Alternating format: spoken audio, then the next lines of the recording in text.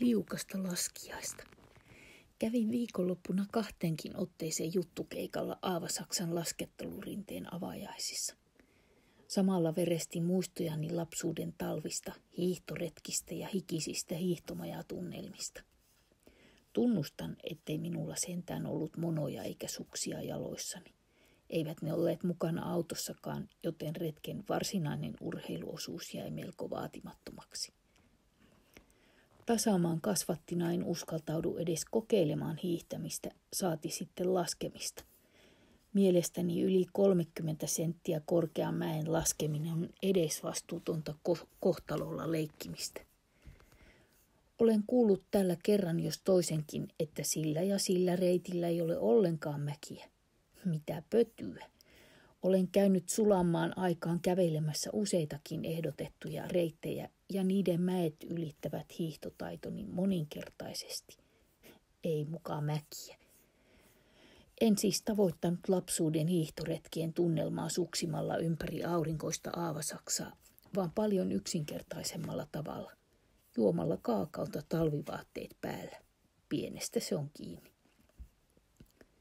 Lapsena hiihdin pikkuveljen ja liikunnallisen äitini kanssa nykyiseen verrattuna ihan uskomattomia määriä. Jos olimme kotona, hiihdimme jokea pitkin tar- parhaina talvina Värminkosken hiihtomajalle saakka. Useimmiten meillä oli kuitenkin mukana kuumaa kaakaota lasipullossa villasukkaan kätkettynä. Jos olimme mökillä, hiihdimme Vir- Virpiniemen hiihtomajalle.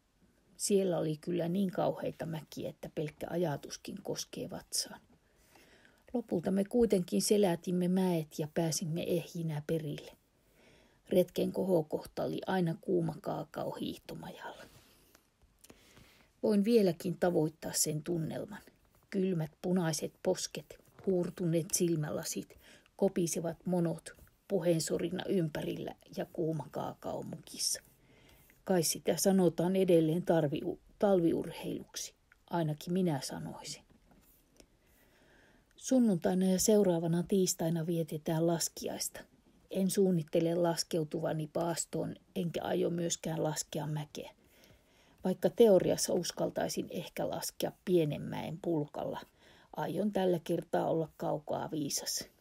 En nimittäin välttämättä pääsisi enää ylös. Sen sijaan voisin harkita pientä laskiaisen viettoa keittiössä. Ehkä laskiaispullaa, läskipannukakkua, hernekeittoa tai blinejä. Tämäkin suunnitelma saattaa lopulta ajautua Karille silkan laiskuuden takia. Ainakin se laskiaispullaosuus. Sen sijaan voisin mennä jonnekin katsomaan, kun lapset laskevat mäkeä. Tulisi itsellekin reipas olo ja punaiset posket.